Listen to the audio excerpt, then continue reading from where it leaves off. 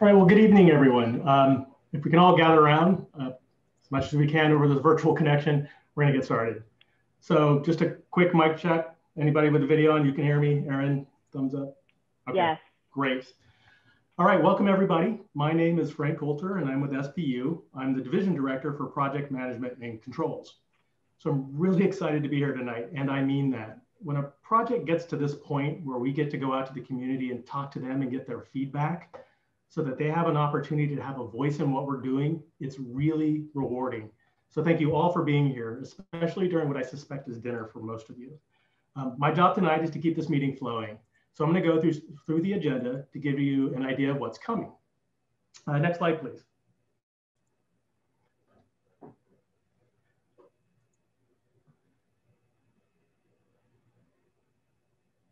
I'm gonna wait a second just to make sure there's not a lag on the slide transition.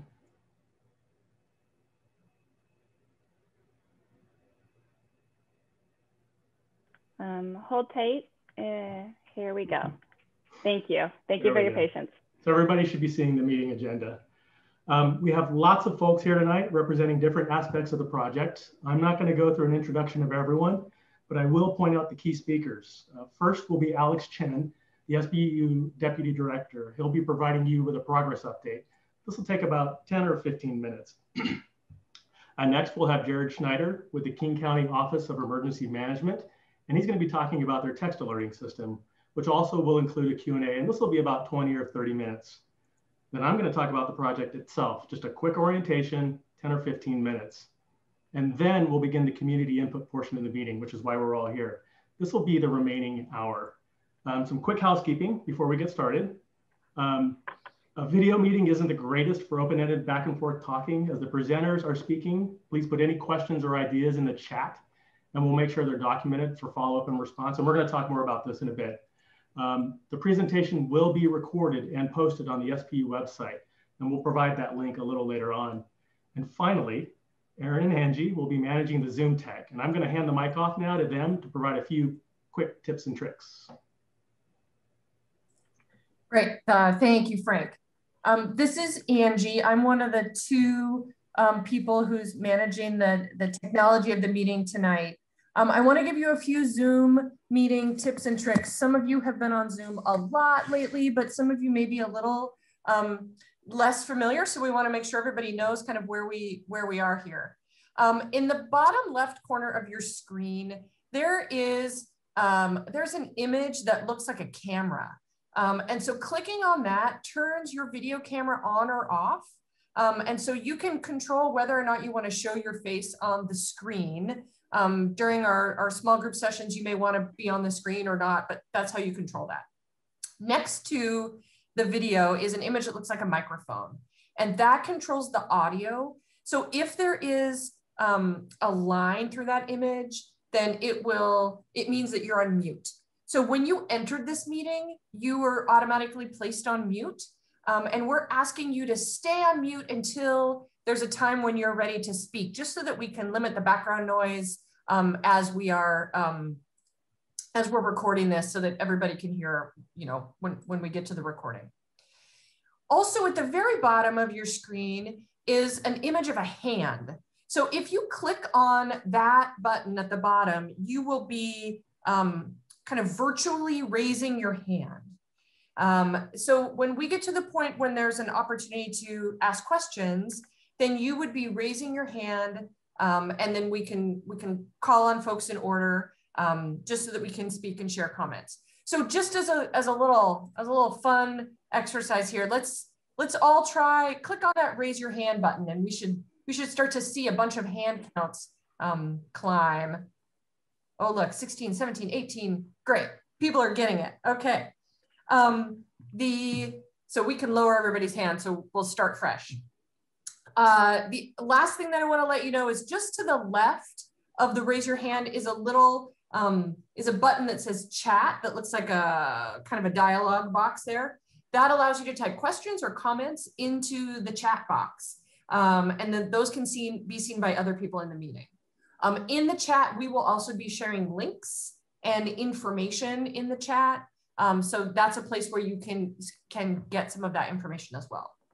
Um, if you have any technical issues, you can contact us. You can send a note in the chat, but if you're if you're having challenges with Zoom overall, you can send an email to me at a thompson at enviroissues.com, or you can call the number here 206-940-6013 and I will also put that into the chat for um, tech support. And so I think that's kind of all of our getting everybody on the same page. So um, Frank, I think we'll turn it back over to you. Uh, thank you. Yeah, so we're going to move right into this. And our first speaker is going to be Alex Chen. Okay, sound check here. Can everyone hear all right and see me? Okay, great. Um, you've seen me at a couple of city council meetings and you'll continue to do so until the project gets uh, implemented and beyond. Uh, but I wanted to start out first by acknowledging some key other folks involved in the discussions here, and then give some background and a status update.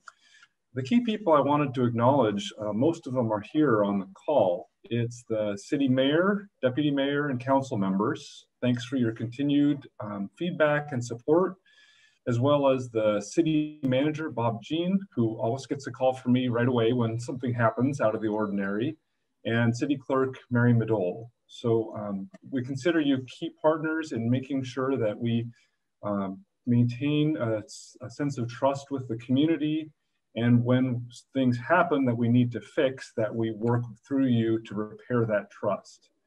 So before I give some background here, I did want to just reinforce, as I have before, SPU's commitment to the public safety associated with the dam. I know that there have been several issues in the last couple of months that have eroded that public trust, and that is a failure on our part. It's a failure we own and we work to uh, improve upon and make sure that you see that we are taking this seriously. So um, what I'll, do is give you some background on what we're doing and how we currently provide the public trust and safety associated with the dam, and then what we're doing to continually improve it and learn from issues that we've experienced. So this slide here really just gives a little bit of background on the dam itself. If you were to go about 14 miles upstream on the Tolt River at the South Fork, you'll find this dam, which is an earthen dam built in the 1960s. The reservoir behind the dam holds something like 18 billion gallons of water at its fullest, and that provides about a third of the regional water supply for Seattle and surrounding areas, about 1.5 million people. It also has a hydropower facility on it, um, and the whole thing is regulated by the Federal Energy Regulatory Commission. So when I talk about public safety and maintaining that public safety, we do several things.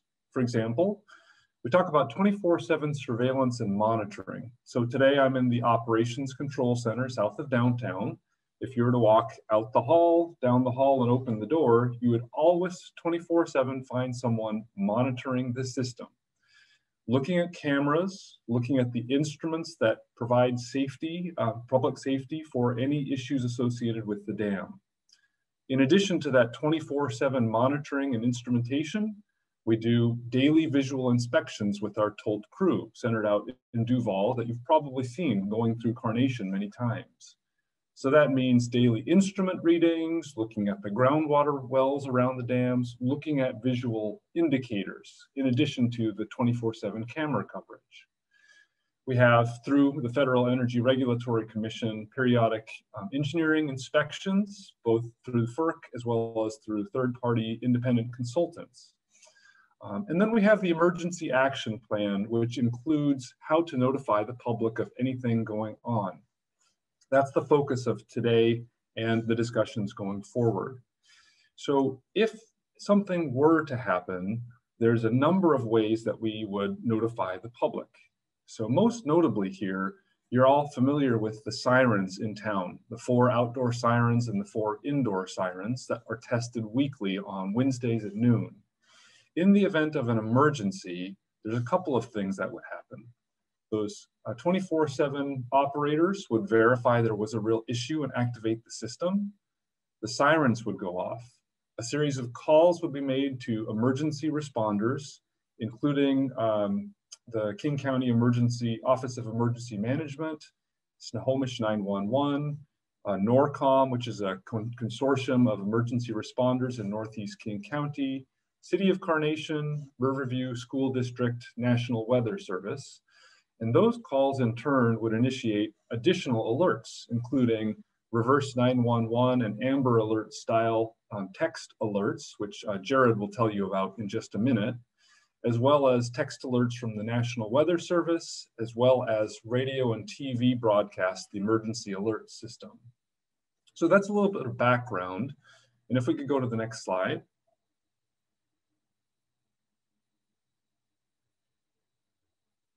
We've been talking actively at city council meetings ever since we had the 40 minute false alarm that happened on July 28th of last year.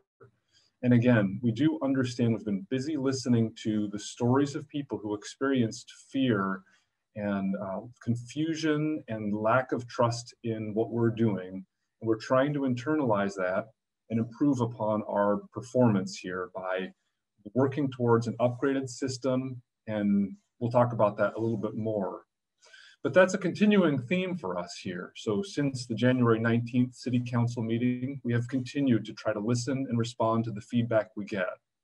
Today's community meeting is a way to do that most directly. And in between these, uh, these community meetings, we'll do so through the City Council, Mayor, Deputy Mayor, and Bob.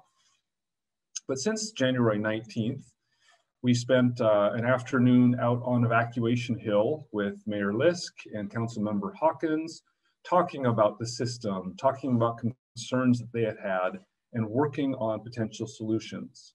One of those solutions was looking at, for non-emergency or potential, potential non-emergency situations, implementing a text alert message system similar to the flood alert type text messaging system that's already in place for those of you familiar, you know, with flooding on the Snoqualmie and the Tolt. So Jared will talk to you more about that, but the Alert King County platform is a system you can sign up for to get voluntary non-emergency messages about the dam.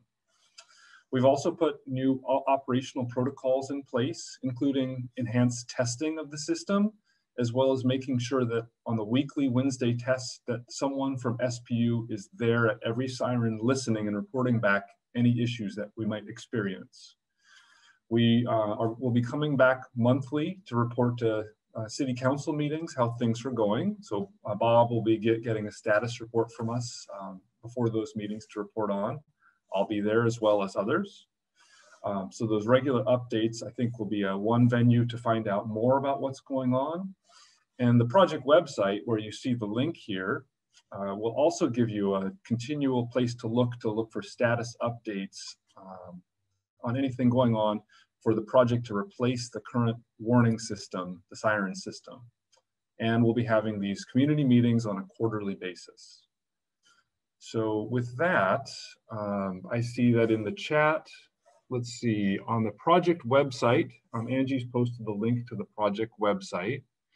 And if it's okay, there's a couple of um, questions on the chat that I could either answer quickly or we could defer to the end.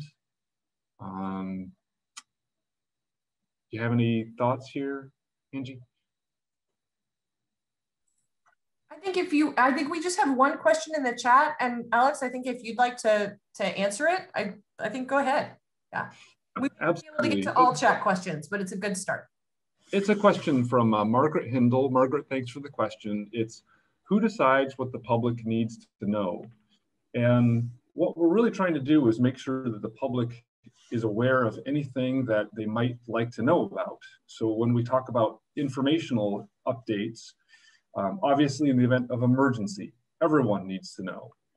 In the event of a non-emergency, those who want to find out more, we're looking for ways to inform them. And that's the Alert King County uh, text messaging system that Jared will tell you about. The real difficulty sometimes is understanding the difference between a non-emergency and an emergency. It was pointed out to us in January uh, at the city council meeting that when the Wednesday weekly test failed and the sirens did not go off, that um, at the time, um, it was not broadcast out in a larger way. And that's something we're working with our partners at King County Office of Emergency Management on, on how to determine when messages should be uh, sent through the non-emergency messaging platform where people can voluntarily sign up. And then when messages are true emergencies, when everyone gets those text messages, the reverse 911 calls. So that's where we're trying to go, and I hope that helps answer the question. Uh, there's another question, and from Christine, does anyone connected to the dam and its monitoring actually live in the Snoqualmie Valley? And Christine, I don't know the answer to that. Uh, what I will say is that we are part of the fabric of the community, not to the same degree as those of you who live there, but uh, the treatment plant, the reservoir, the whole system up there is right in the backyard of Carnation. Our sirens and our warning system are in Carnation. We work with the city council, city leaders on coordination issues associated with the dam and dam safety. So for example, for me, I've been at SPU for 15 years and I've spent most of those 15 years um, going into Carnation or through Carnation, eating at the Chinese restaurant and shopping at what used to be the QFC and has changed ownership a couple of times. But uh, this is part of, we're part of the fabric of the community, or at least I'd like to consider us part of that. And to that end, we share ownership in making sure that the community feels safe with what we're doing with the safety of the dam. I hope that answers your question.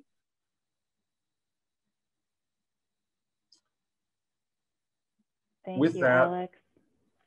You're welcome. Um, and I, I, now that I mentioned it, there are a few people who live right in Carnation. Um, I've gotten questions from some of them who are not as involved with this. Um, but if it's helpful, I can we can assemble a database. But with that, I'll turn it over to Jared to tell you more about the non-emergency and emergency messaging platforms that uh, you can sign up for or be aware that you'll get text messaging for. So um, Jared, it's all yours. All right, thank you, Alex. Okay, hi folks. My name is Jared Schneider. I work for King County Emergency Management. I'm a program manager there focusing on hazard mitigation uh, one of the hazards in our county is dams and dams fail and dam failure. So um, I'm here today to talk to you about our alert capabilities. Um, but before I get started, Brendan McCluskey, our director, is also on, and he wanted to have a couple words off the top of our uh, off the top of my presentation. So, Brendan. Yeah, hi, thanks, Jared. Um, and thanks everybody for allowing us the time to be here with you. Um, I think uh, you know, one of the things that I just wanted to be clear about is, you know, we're a partner there for you. We're a partner of the city. Um, we're completely independent of uh, SPU. Um, we would be there if the siren system wasn't there. And in fact, in situations where uh, there are emergencies that don't involve the dam, we're there to do this alert, alert and warning for you. Um, you know, our, our system, which Jared will talk about in a few minutes, uh, is fairly powerful, and we certainly encourage everyone to sign up for it. Um, uh, but again, I, I, I, really want to make it clear that we are completely independent. Um, we're here for you uh, and for the city um, and for the people that live and work and visit your area. So, uh, Jared, thanks, and um, you know we'll be around for questions as well. All right, thanks, Brendan. Okay, if we don't mind going to the next slide.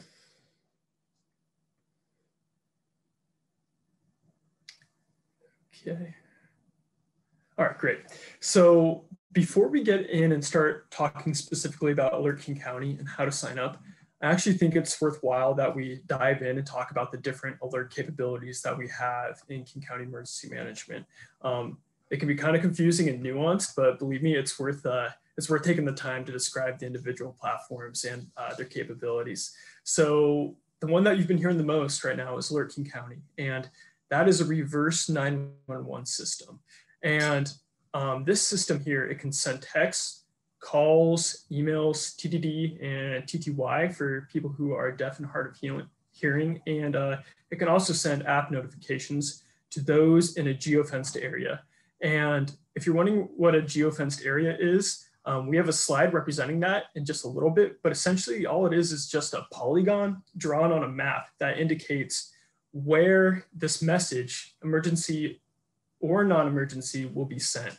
So that's the first capability we have, reverse 911. And within reverse 911, there's two types of messages. Um, Alex mentioned them a little bit already, but there's general messages, which you have to opt into. Um, I'll show you how to do that in just a second.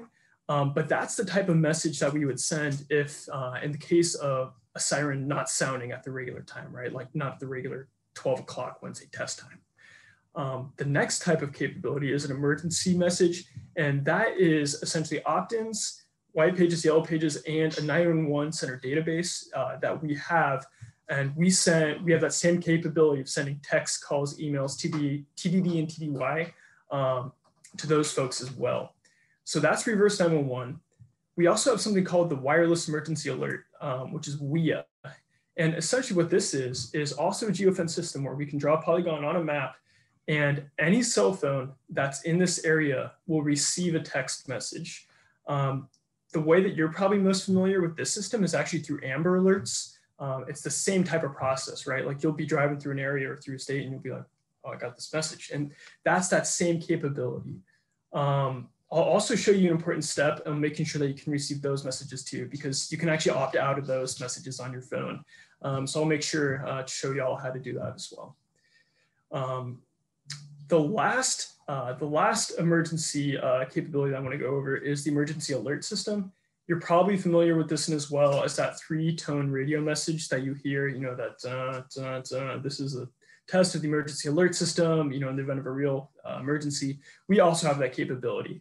And so the wireless emergency alert and the emergency alert system and Alert King County is all messages that we would be sending in the case of an emergency or if there was a uh, serious issue at the dam.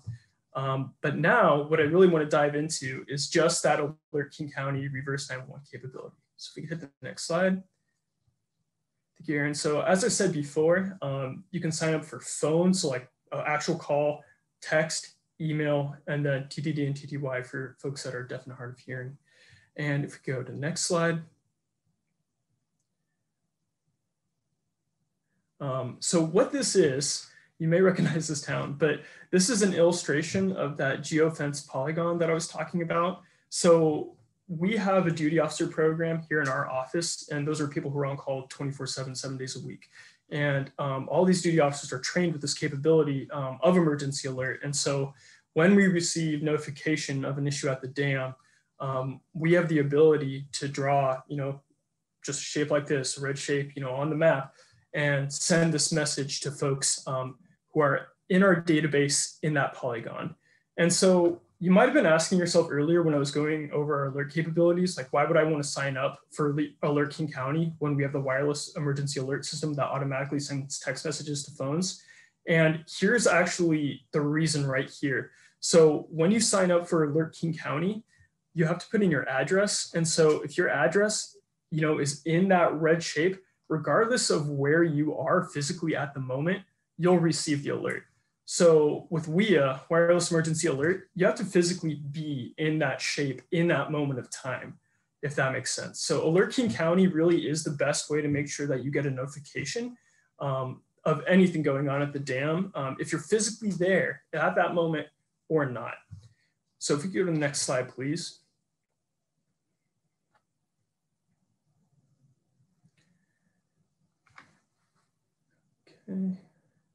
All right, so the best way to sign up is actually online. So if you go to kingcounty.gov slash alert, you'll be brought to the web page um, that's displayed right now on your screen.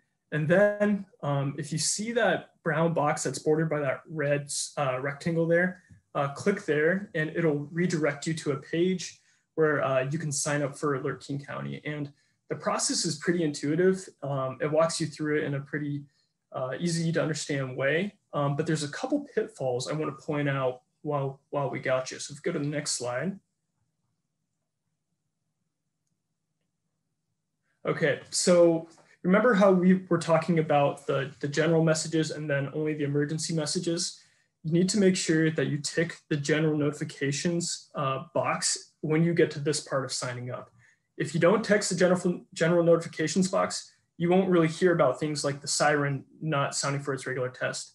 Um, you will still hear if you if you choose to not get those messages, you still will hear about other um, emergencies or other issues at the dam. Um, but if you're interested in hearing about, you know, the test or, you know, why didn't it sound, um, general notifications is something that you got to tick. All right, next slide.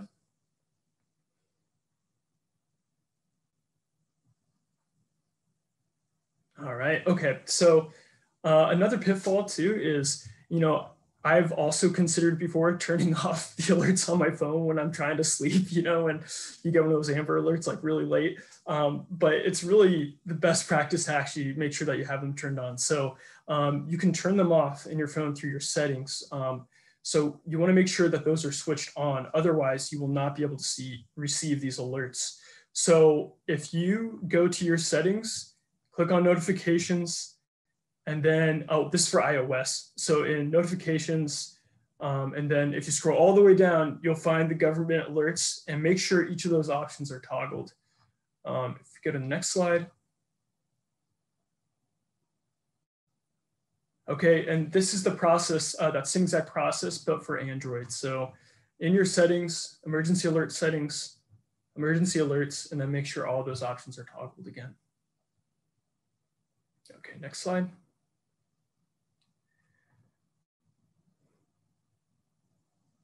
Okay.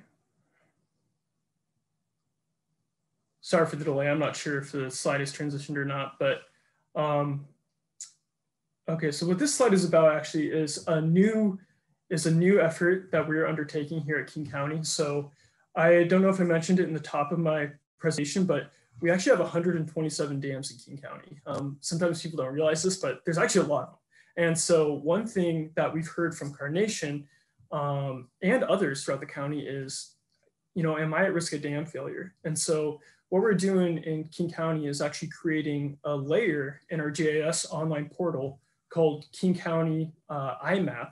That URL is down there at the bottom. We'll be, we'll be sharing these resources out too after this call. But if you go to kingcounty.gov slash IMAP, um, we are working on a layer there to where you can see dam inundation areas. It's not complete yet, um, but we're getting close and we'll be sure to provide an update when we do have uh, this layer posted because um, we know folks want to be able to see on a, uh, on a, you know, just down to your own home, right? To see if you have projected risk from dam failure. Again, keep in mind that all these are just, you know, engineering studies and models, but um, we understand that that's something that people want. I mean, I want that for myself too, right? So we're working hard on that and we'll keep you guys updated um, when that is complete. So now, um, go to the next slide, I believe this is the final slide coming up. And Aaron and Angie, I think this is the time um, where we're gonna have go through some questions, correct? I saw some coming in through the chat to the mm -hmm. presentation. So yeah, I'm excited. Yeah. Angie, uh, looks like we've got some good questions in the chat. Do we wanna move through a couple of those? Yeah, sure. Um, so there was a comment at this early about um, WEA testing tomorrow at 11 a.m. for an earthquake alert system. Um, and, and some clarifications that have been going on in the chat around um, people who have test mode enabled will receive that test. So there's a there's a little bit of back and forth there that that you can follow. Um, mm -hmm. There is uh, a couple questions I'm going to ask you specifically about the, the alert system, and then we can go back to some of the other questions. One of the questions is about whether the um, WEA and the Rev reverse 911 procedures have been improved since the false alarm. Yeah, that's actually a great question. So that is something that we have improved. Um, we've actually uh, pre-scripted those messages into our system already now. So um, instead of like us hearing about it and then us crafting a message and drawing the polygons, you know, where the alert should happen, we we have this all um, coded now into the back end of our system. So in theory, you know, once we receive the uh, notification, we can actually send the message very, very quickly. So um, that's one improvement. We also heard um, that there was a desire to have uh, the messages translated into Spanish. And so reverse 911, it's not to a point yet where um, it can be translated into Spanish, but WEA, we now have prescripted messages um, for failure in Spanish as well too. So folks, if they you know, have Spanish as their primary language on their phone, they'll be getting that message in Spanish. Um, so those are a couple things that we have done um, in response to the events. Jared, another question. Um, someone noted that they're not interested in connecting their phone with the King County Tech Alert. So will they still be able to rely on the siren? Yes, yes. The siren, um, the siren will still go off. You know, in the case of a failure. Yeah, that's something that you know we completely understand. Um, additionally, too, you know, um, there will be the EAS, the emergency alert system that goes off that three-tone system. You know, that doesn't go over your phone. Um, but yes, um, this is not replacing the siren. This is a supplement uh, to the siren. Um, also a question about whether the area indicated on the map, how that area was determined. Given that uh, Riverview School District spans Duvall and Carnation, is it possible for residents of Duvall to also receive notifications? Oh yes, uh, so that was just a zoomed in um, area of Carnation, but the alert area is actually much larger, you know, for this type of event. So it's down through the whole lower Snoqualmie Valley and then up through Duvall as well. Um, and I want to go back to a question that was kind of at the beginning of your presentation. Um, the question was, at some point, can someone please share specifically what went wrong um, with the mishaps and how specifically this is being corrected? Was it a person or system error or something else? Yeah, this is Alex, and I can do that.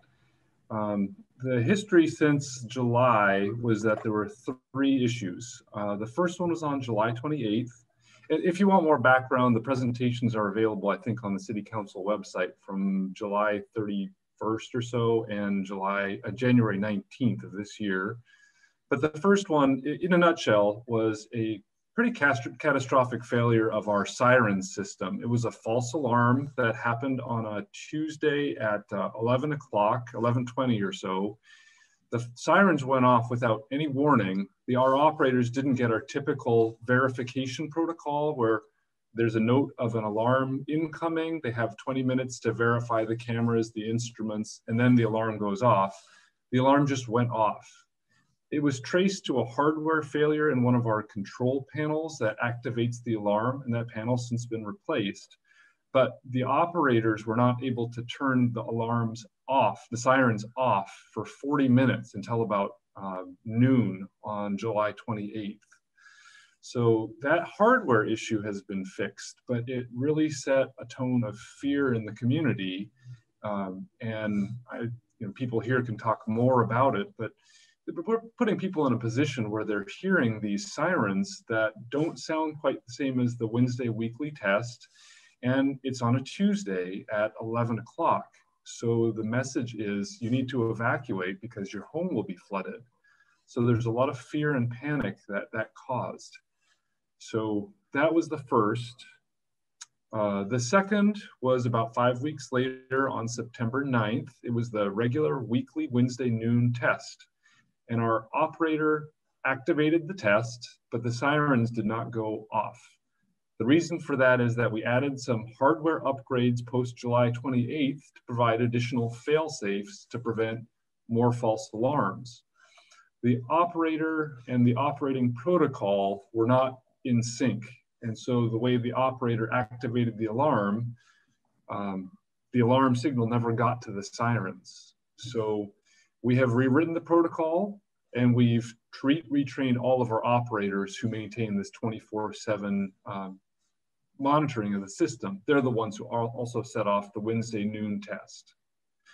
If you fast forward to January 13th, uh, this is a month ago, another Wednesday weekly test failed. The sirens did not go off even though we activated the alarms. And the way the system works is that uh, the communications pathway, the first one is a fiber optic pathway for alarm signals to go back and forth from here in Seattle to the Tolt Dam to Carnation. The backup is a microwave system. The primary system, the fiber optic system, that went down because of all of the storms. Uh, it's a King County fiber optic line and the power to the whole uh, server area went down. So that's why we have the microwave system, and that is powered by hydroelectric power. So it's running 100% of the time, whether there's a power outage on the grid or not. What we didn't realize though is that backup pathway, the microwave, it allowed us to continue seeing the cameras and the instruments. So our operators had the sense that everything is just fine because they can see and hear the typical instruments and cameras. However, the piece that was missing is in the microwave communications, the command to activate the sirens was disabled due to a hardware configuration issue from uh, some testing we had done recently. So we've diagnosed that and fixed it and tested it so that both the fiber optic system and the backup microwave system work entirely uh, 100%. So that's the background to those three issues. Thanks, Alex. I think we have probably one, we got one more question and then we're gonna keep moving. There will be time for additional questions and discussion in our breakout groups. Um, the question is whether we will be changing the test, will you be changing the test siren tone to the actual tone that will be sounded in the event of an emergency? I can answer that. And I, and I think that what we'd like to do is just hear more from the community. There was a lot of um, uh, emotion expressed to us about making sure that we have clear communications with the community. And we definitely understand that. So um, coordination of which tones are used for weekly tests versus emergencies, should those be different or the same? These are some of the things that we want to hear feedback from the community on so that we can make sure that we're communicating as clearly as we can. Great. So as I said, there will be more time for comments and questions when we go into our breakouts, but I think we'll we'll keep moving and um, Jared and, and Alex, thank you so much for your uh, time to answer questions. And I think we keep moving to Josh. Yeah, one last thing I was going to say, folks, if you have any questions for me or if you need help signing up for Alert King County, my contact information was on that previous slide. I'm happy to put it in the chat too. Um, so feel, feel free to reach out. Thank you. Okay. So thanks, Jared. Thanks, Alex. I'm not going to belabor this slide. Uh, Alex just went into to great detail on how the system works just wanted to put some images to what he was talking about. So this is just a quick Google map. Um, the arrows indicate Carnation and on the left, Seattle. When Alex talks about the microwave systems and the sirens, on the right are the photos of those systems. Uh, on the top, we have a dish. In the middle, we have an outdoor siren. And on the bottom right, just a, a building annunciator or siren. And on the left, again, Alex mentioned that this communicates via microwave as a backup system to the Queen Anne Towers. That's where we have our antenna arrays but primarily through a fiber optic system so that it can communicate where Alex actually is right now. I won't belabor the slide. Again, we went through a lot of detail on this one, so we can just move on to the next slide. So why upgrade the system? Again, it's pretty simple. It was built in 1985. It's a fifth generation system and it's getting old and difficult to maintain. It's outdated tech and needs to be brought into the 21st century. Next slide. So what are our project goals? And now we're speaking to the project that we're working on now. Um, we want to hear your concerns, your needs, and your ideas. Um, we want to listen and we're going to keep you informed. We need to integrate your feedback with our technical goals. Um, our technical goals are to replace and improve that outdated system with a state-of-the-art system. We're going to add redundancy, resiliency, and reliability, and some signage. But ultimately, it's so that we're going to do all of this so that it works for everyone 100% of the time. That's our goal. Next slide, please.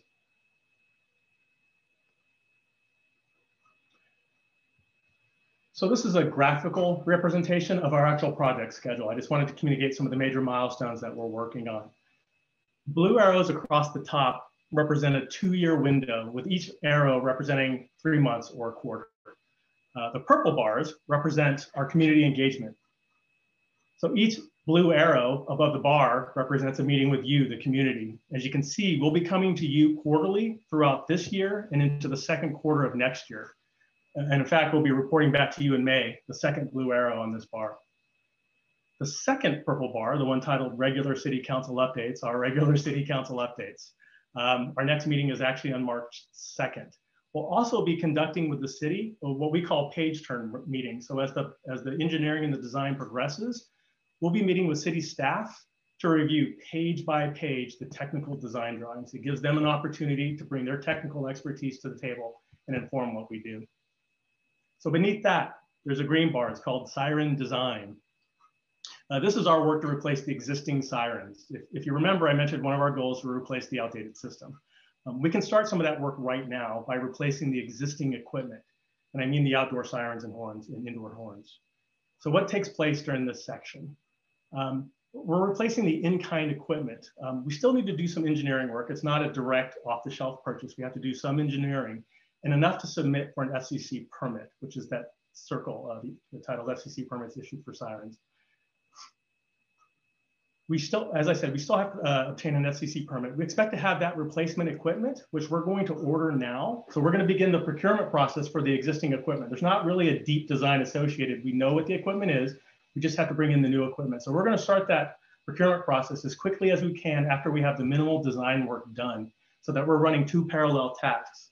Once we get our permits, we'll have our design ready and we'll have our equipment ready and we can begin the installation to replace the existing equipment first. We expect that to be done in the second quarter of 22. So finally, the light blue bar. Uh, this represents the design of the entire project. Um, as I mentioned earlier, we need your input early so that we can integrate it with the technical, technical design requirements of the project. If you align the blue arrows above, you see we intend to meet with you four more times during design, and design will be finished by the end of this year, the fourth quarter. We also need to get FCC permits for this design as well. There'll be new locations. They all require FCC permits. Um, a quick note about permits. The FCC doesn't allow an expedited permit process. However, we will work very closely with them to keep the review period as short as possible. This is our realistic projection of how long this might take. We'll do everything we can to shorten this activity. And finally, I just want to acknowledge that this is a high level schedule. I'm speaking in quarters or, or three month intervals right now. As we work with you and your input and we move through the design, exactly what we're going to be installing becomes clear. And with that clarity comes the ability to provide finer detail on dates. In other words, expect to see more specific schedule information as we move through the design. Uh, next slide, please. I just wanted to give this quick project overview before we move into the breakout sessions. Uh, do we have time for Q&A or are there any questions in the chat? Okay, great. So let's do that before we go to the next portion.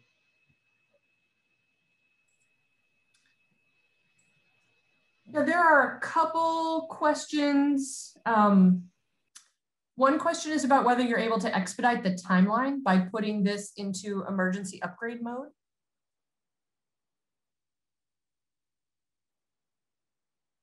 Frank, you're on mute. If you yep, sorry. Uh, so uh, a little more clear on emergency upgrade. When I hear something like that, what I, what I think of is the procurement process or the procurement requirements that we have.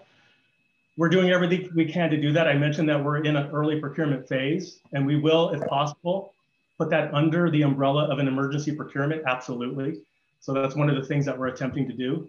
I don't know if that answers the specific question, or were you taking a different angle on that? If you could put that in the chat, I'll try to respond if I didn't answer your question. Great. Uh, another question about, does the siren need to be tested weekly? Can it just be tested monthly? I think we have, Mike, are you on the call? You're uh, muted. Yeah. Repeat the question. The question is whether the siren needs to be tested weekly or can it just be tested monthly?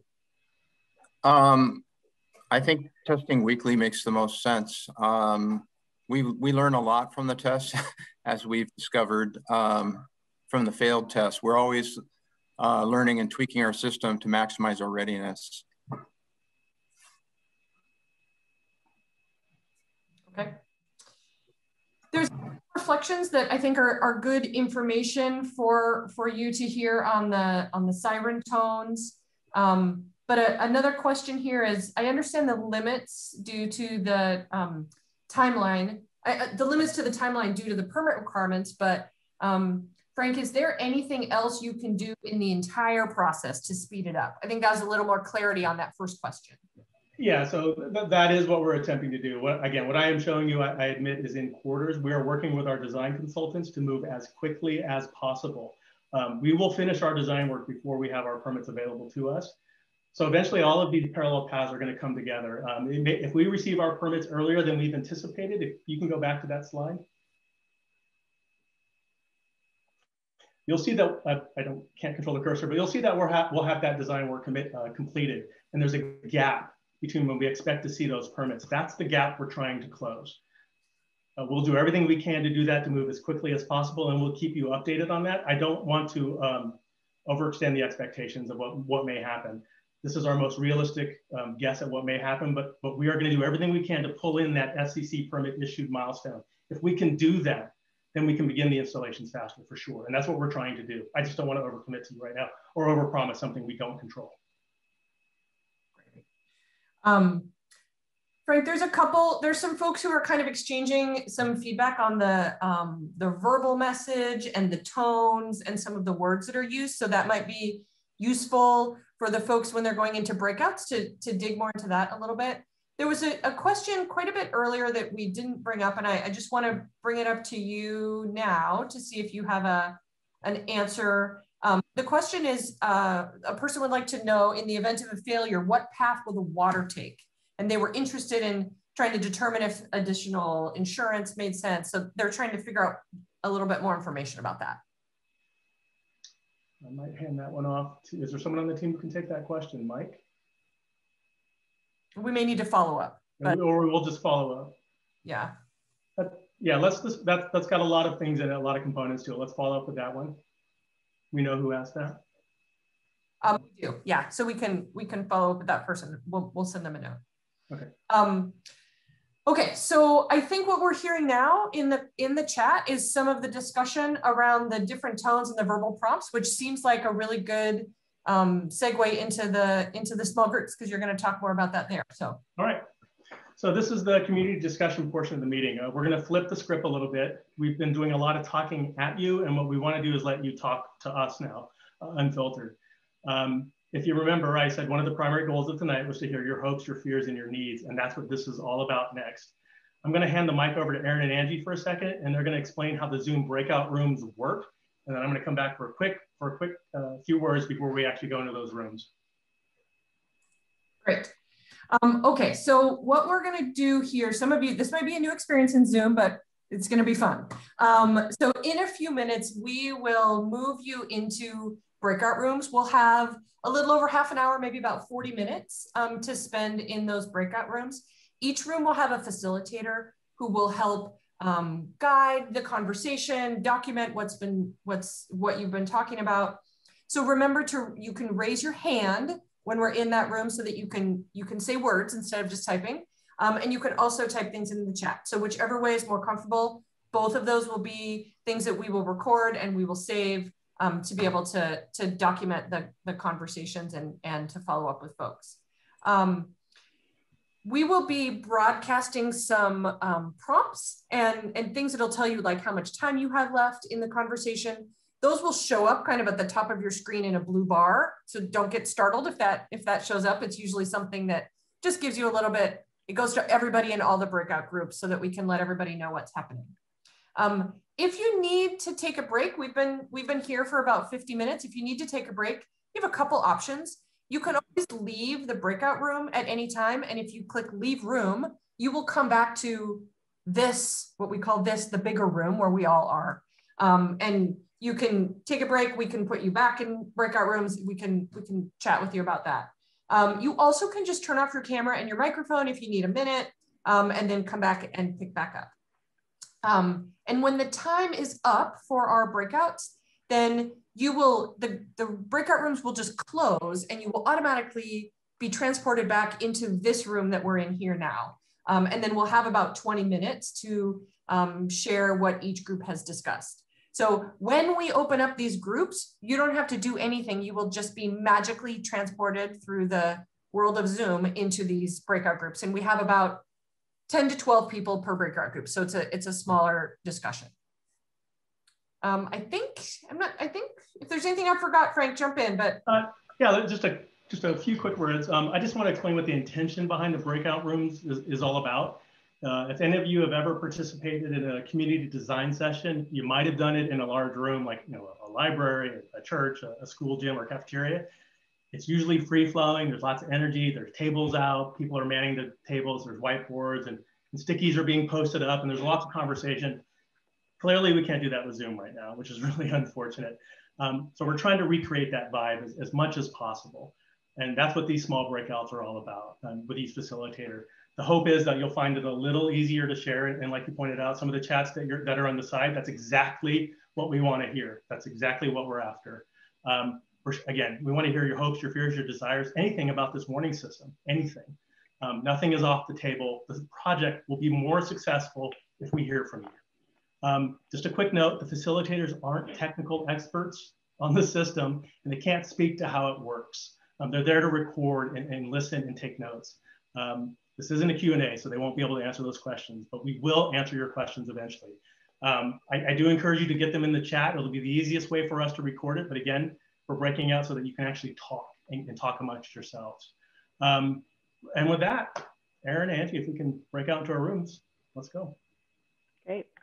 Yeah, can we, can you review these questions real quick, Frank, just so everybody has those in mind before we? Oh, yeah. So some, some guiding questions. If some of you need some help on, you know, what are we really asking for? And again, it is an open table. We're asking for anything, but, but what are your concerns with the existing system?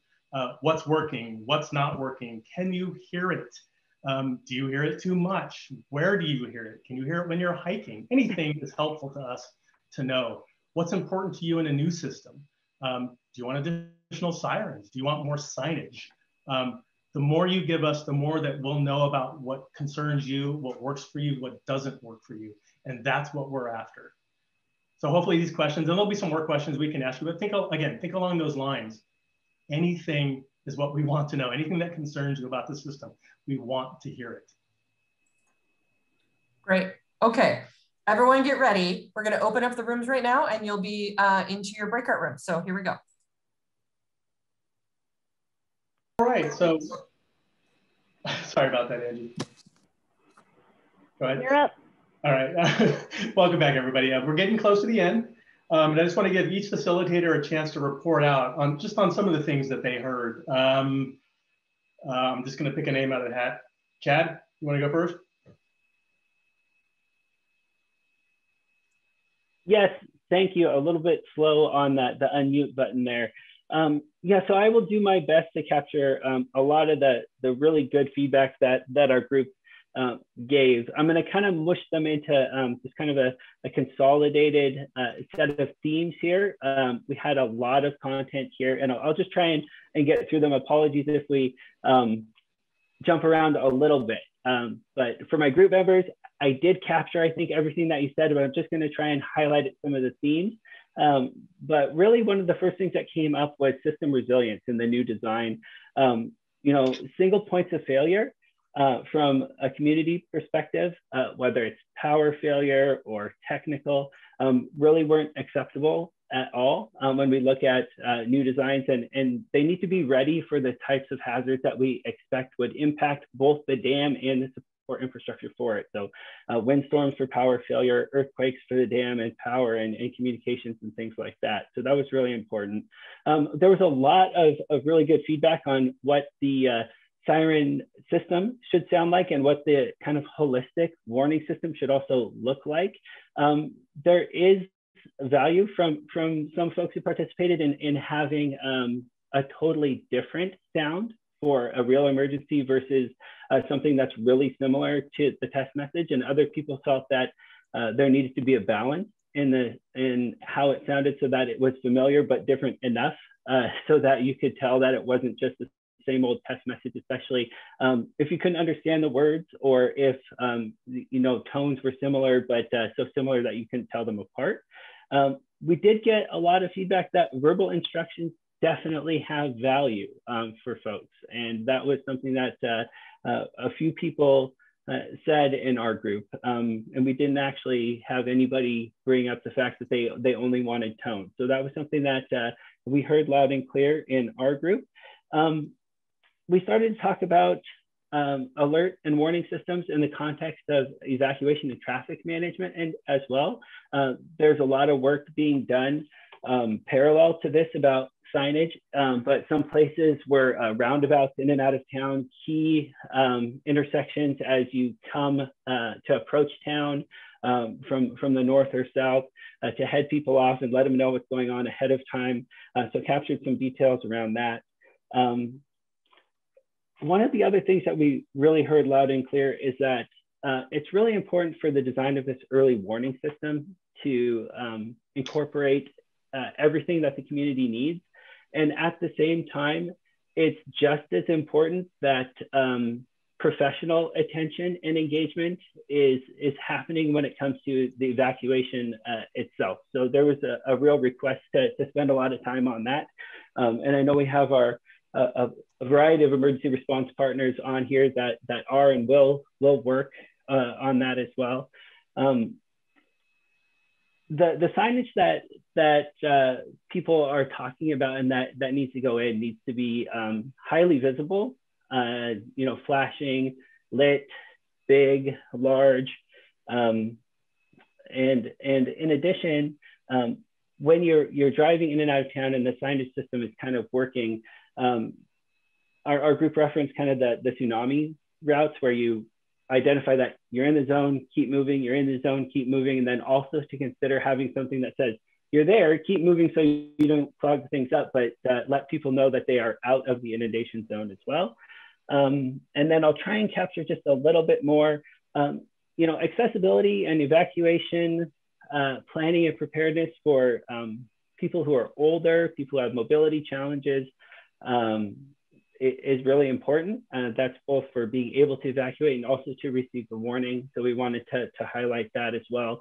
Uh, and last was a really interesting thing brought up by our group. So in addition to um, the, the alerting capability that uh, Jared described to us earlier, and in addition to the siren system, uh, with as fast as technology is evolving, uh, it was brought up, is there a way as we move forward for uh, warning systems like this, whether it was siren uh, based or whether it was um, you know something like the county has to integrate with a variety of different devices where people could set something up more customizable uh, in their homes if the device they use isn't always their cell phone and they have a number of different types of uh, things in their house that could provide some kind of message or warning. So um, there was a ton of great feedback in our group. I tried to capture some of the highlights here. There's a ton of other things that I'm looking forward to digesting with, with our group. Uh, but I really want to thank everybody in our group for um, providing all of the great information that you did. And uh, Frank and the rest of the team, I think that's all I have for now. Great, thanks, Josh. Um, Josh? Hi. Yeah. Uh, I feel pressure to ask all my the great questions my um, my breakout room asked. So I'll do my best to summarize. Um, I had questions about the inundation map um, and some good specific questions about the inundation map. Um, great, great questions about integrating the project with other efforts that are ongoing in the community for um, information sharing, social media sharing, um, uh, general emergency preparedness. Um, got questions about physical markers. So is there ability to have um, physical markers in the city to know when you are, uh, when you have properly evacuated uh, on both sides of town? Uh, questions about signage, um, potentially lights and signage, uh, questions about messaging, um, and flexibility around messaging got some great questions. Um, you know about using leveraging social media. Uh, it's a part of our lives now. So how do we get the word out um, on how the evacuations work uh, using social media? Questions, um, you know, about locations, um, leveraging the roundabouts in town um, on both sides, just to make sure that uh, folks that are coming into town um, are not contributing to the evacuation problem, um, getting folks out. And we got some questions specific to the dam, uh, which was very interesting. The amount of water we have in the dam, who's using all the water in the dam, and could the, the levels be potentially reduced um, to potentially reduce some risks. And then uh, question similar to Chad's with um, leveraging simple low cost technologies with the new system. Uh, connecting the, the new system in with an 800 megahertz radio, ham radio, a NOAA alert radio, um, potentially uh, an AM radio station uh, like we see on WashDOT roads. I think that fairly summarizes uh, the questions from my group. Thank you, Frank. Josh. All right, um, Fred.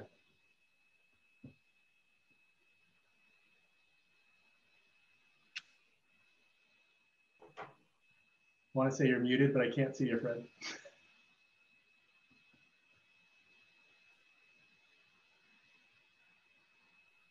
I was muted, right? Sorry about that. Um, I only have a couple of people from the community in the breakout room, but we had great discussion and, um, you know, uh, good questions.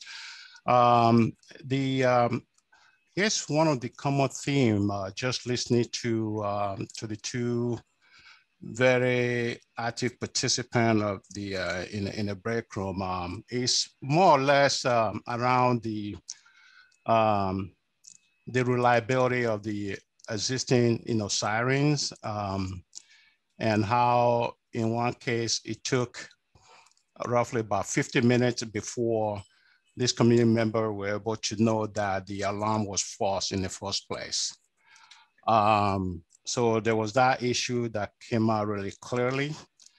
Um, and there's also the concern about, you know, the sound, you know, sounding really muffled.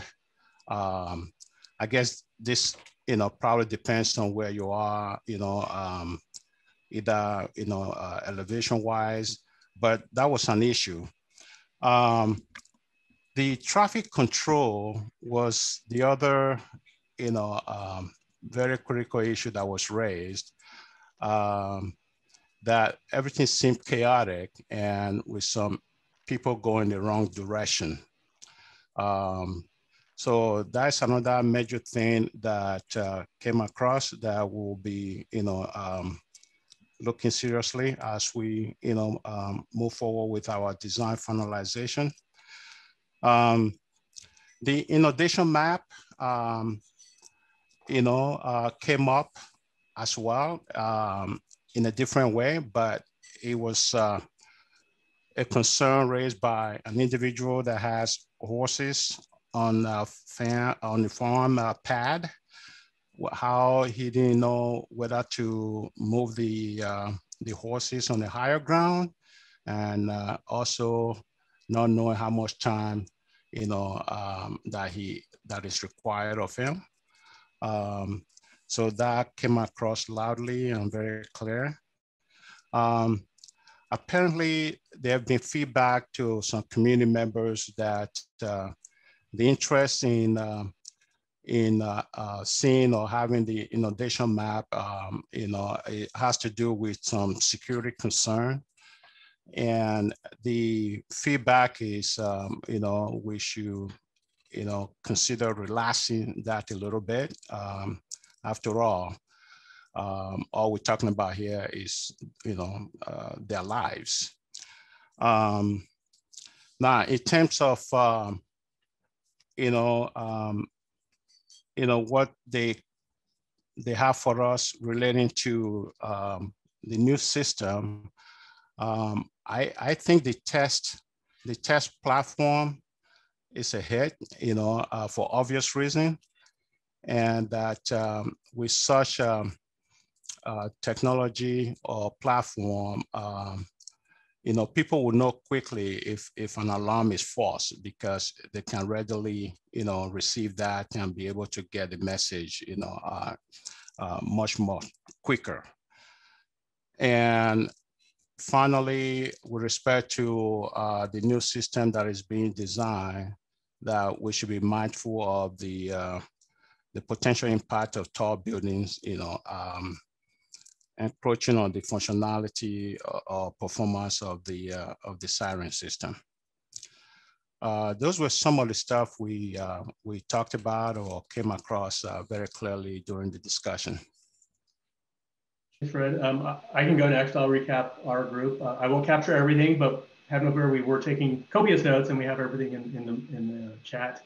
We, we too had conversations around audibility. Um, maybe the type of sound uh, could, could differentiate between testing and, and the final, the actual emergency alarm. Um, there was a note that it was uh, kind of a mystery. Sometimes, as Fred said, you could hear it great, and sometimes it was muddled. Um, so there's something there that we've heard. So we've heard that a couple of times now. We definitely had a lot of conversation around signage, um, signage for pedestrians and hikers. There was a, a, comment about the trailhead at Northeast 50th that gets blocked a lot by cars. Uh, but to make the point that we need to improve that signage for folks who are there. Um, also, the roundabouts and highway signage, maybe moving to electronic signage. Uh, and, and the tsunami was also run uh, on the Oregon coast as a great way to let people know where you are in relation to the zone, um, just to know if you were entering it or leaving it and what you need to do. That, that was a great example of something that could be done.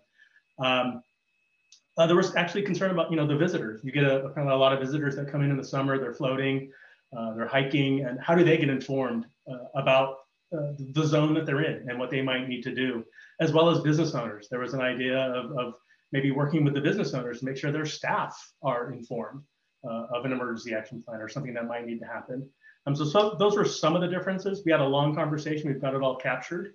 Um, but with that, let me see. We have Carrie, I think.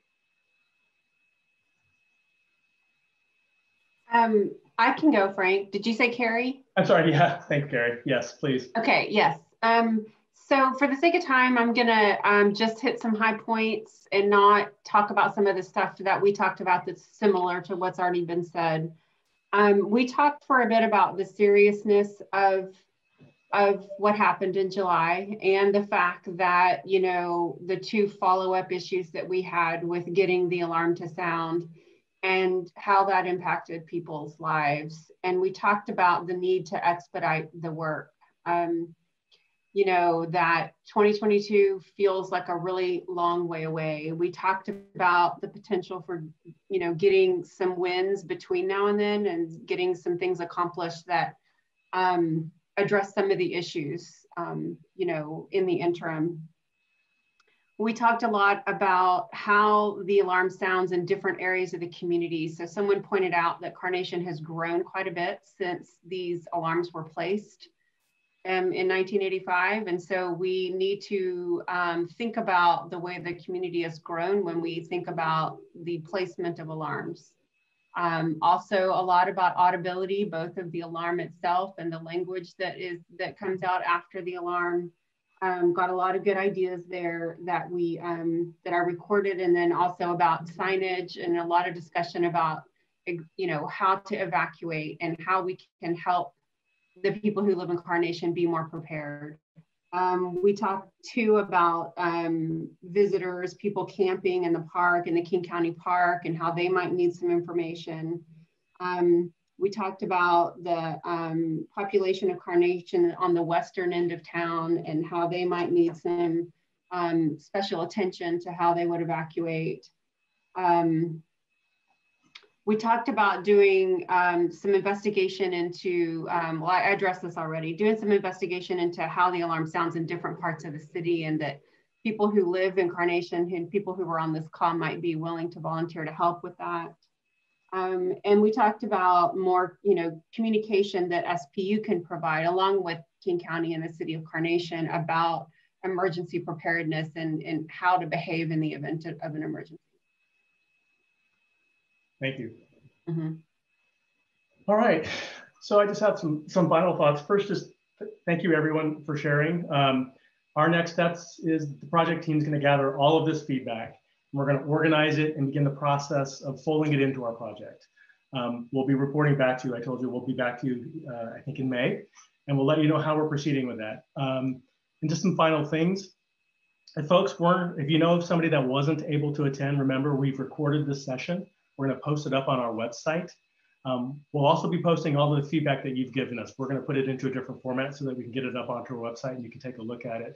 Um, you can subscribe to our website for updates. You can join an email distribution list, or you can just go to the website and look at our contacts and give us a call if there's something that you have a question about. We'll get back to you for sure. Um, with that, unless we have anything else to add, I'm going to close the meeting. Aaron? I think you I think you covered it all, Frank. Um, Angie is just putting the links um, in the chat one more time for everybody to the project website and Alert King County. So um, you can click on those and, and have direct access. Great, thank you. So thank you everyone for taking time out tonight to join us. We really appreciate it and we'll see you again in May. Thank you.